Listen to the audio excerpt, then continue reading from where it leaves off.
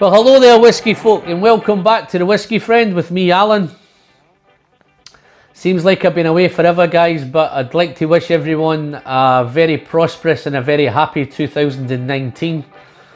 I've been away for a couple of weeks. Uh, as I say, I've been trying some really nice whiskies, all in the aid of research just for you guys. I know someone has to. Uh, today I'm going to be reviewing something very very special and it is the Glengoyne 21. Uh, I have done a video, this, this whiskey actually made my top 5 whiskies of 2018. There is a video kicking around, if you want to go and check it out guys, please feel free. Um, today I'm going to talk a little bit about Glengoyne, I'm going to nose it, taste it, tell you a little bit about the finish. So without any further ado guys, uh, I'm just going to crack on. Glengoyne uh, Distillery is just on the outskirts of Glasgow. Uh, super picturesque little distillery. It's quite unique uh, as it produces a Highland single malt and it matures its whiskey in the lowlands. So the reason for that guys is, is Glengoyne is right on the Highland line. So the stills are in the Highlands and the warehouses are in the lowlands. Uh, quite unique. Uh, there is a few other things about this which I'll come on to a bit later on. As you can see I've been spending last couple of weeks with this whiskey. Um, I class this as a special special whiskey. Uh, it's natural colour anyone wants to see what natural colour looks like, that's the one there. It's got that red hue. Um, it's matured in first fill Oloroso casks. Um, 21 years. On the bottle, guys, it says it's unhurried since 1833, which is, I'll come back to the reason why that's, that's important and it also states its natural colour from time and sherry casks alone. So it's got everything. It's 43% ABV. I think that 43% ABV is perfect. Uh, I know some of us would like 46, 48 and cask strengths and stuff like this, but I think for this whiskey, they've got Glengoyne's got it bang on uh, with 43%.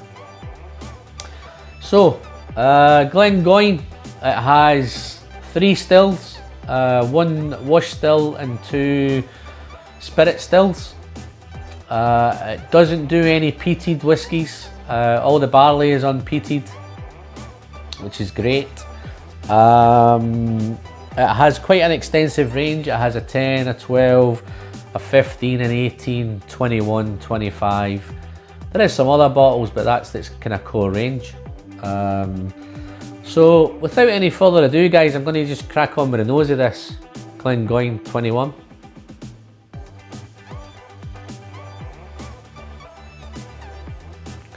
Wow. I remember guys when I first bought the first bottle of this. This is the third bottle. When I bought the first bottle, the first thing that hit me was the nose. I thought what a spectacular nose is. It really got me excited for the palate. I actually spent about five, ten minutes nosing it before I actually tasted it. But when I actually came to take my first sip, I was really, really, really disappointed. Um, and I'll tell you a little bit why I was disappointed. I'd been built up, I'd watched videos on it, and people were raving about it. Everybody I spoke to was raving about it. And whether that got me super excited, I felt a little bit disappointed. Uh, and this is where I'll come back to the unhurried. Apparently it takes six years for Glengoyne to get the casks ready to put this whiskey in. So to do 21, so it's taken almost 30 years to get it ready. And I was down in it like a cowboy. Um, and I wasn't getting anything from it. Uh, it seemed quite bland. Okay, the sherry was there, but I couldn't get really anything else but sherry. Then I watched another video on YouTube and one of the top tips was take your time with it. So I did that. I left it in the glass. This has been sitting in the glass now for about 20-25 minutes, which guys, it needs this. Uh, I've watched some other videos since then and some people are not quite getting it. Um, but for me, the 20 minutes, 25 minutes, it needs it because if you give it the time, it will give you so much back, um, which is superb. Um, so on the nose, it's sher all sherry, uh, and then you get those kind of that fruitcake note, raisins, dates, figs. Wow. Got a red note, red cherries maybe, strawberries raspberries, that kind of thing. A little bit of spice. Touch of cinnamon. Honey. And toffee. But and that, that's that note I've got now, but if I leave it for another five minutes, I'd get some more. But I know when I said I'm not going to hurry things, but I, I don't want to make the video last an hour long. Um, If you would like me to make the video last an hour long, just pop it in the comments below, guys. Yeah, toffee. Wonderful, wonderful. Uh, see the colours, spectacular. Let me have a sip.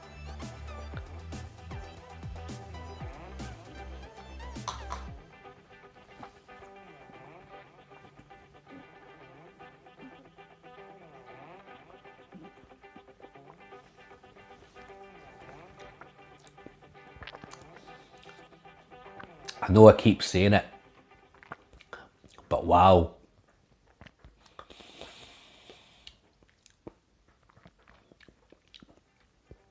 Fruitcake, Oloroso, sherry.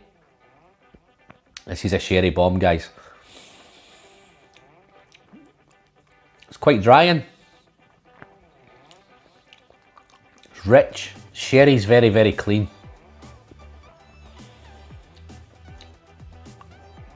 Got a little bit of banana and pineapple.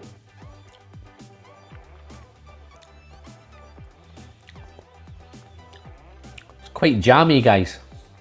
Like a pineapple jam, honey, syrupy. Super. Let me try some more.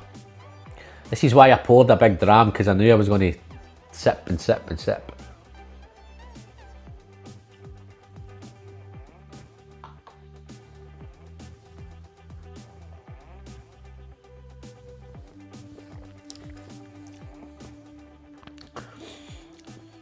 Got a touch of a rum note. And what I'm thinking, you know when you have a that fruit cake and you pour rum over it, flambe it, getting that kind of rum note, some brown sugar. Going quite sweet now.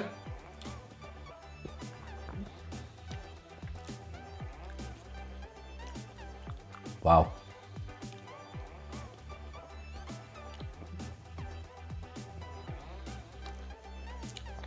That toffee's getting quite strong now. The spice, the spice is coming in. It's quite spicy. I actually think there's a touch of ginger now. So I've got cinnamon and ginger.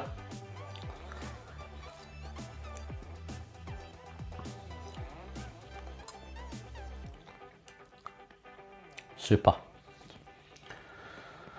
Sorry guys if I have a lot of silent notes because I'm just enjoying this too much. Uh, let's have one last sip and then I'll maybe have another sip to do the finish.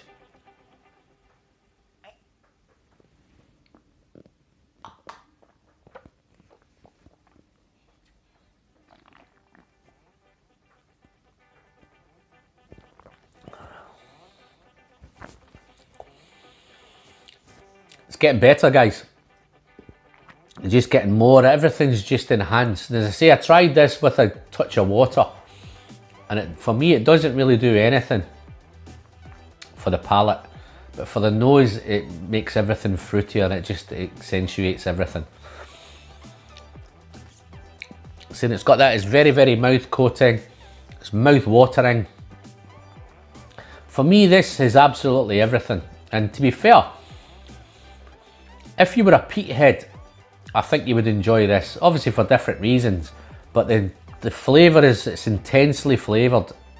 Um, and I think that's coming from fantastic casks. Great, it's 100, it's uh, first fill Oloroso, and I think the maturation with the great casks. I think the, the master blender has done an absolutely fantastic job on this. I'd say this is a masterclass in whiskey. Um, price wise on it, it's about 110 pounds. So for a 21 year old, this is outstanding value. And I'll tell you the reason why. On the back you're paying 110 pounds for this. And I say I've done it three times now. Um, it made me go out and buy the 25 year old, which is sitting here. I've actually bought two bottles of the 25 year old. Now this is my second bottle.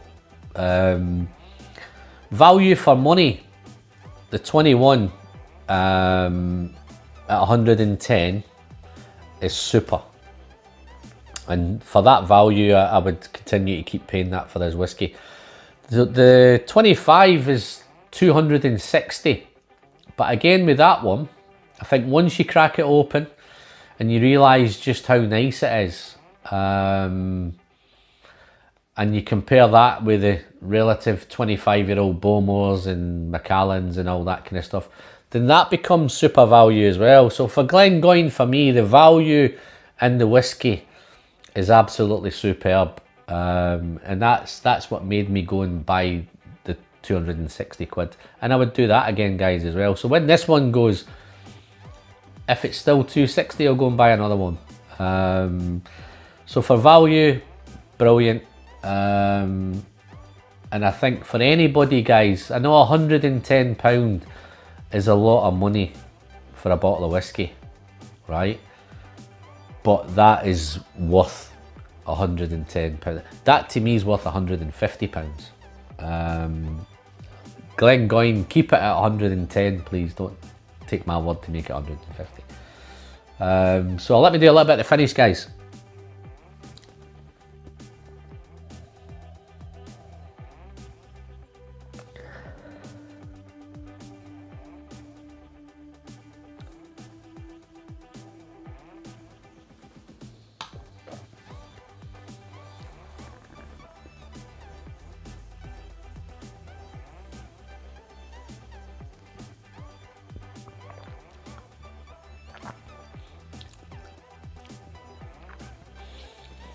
Comes, it's really syrupy on the finish. It's, there's a little bit of fudge there, which is came in at the end.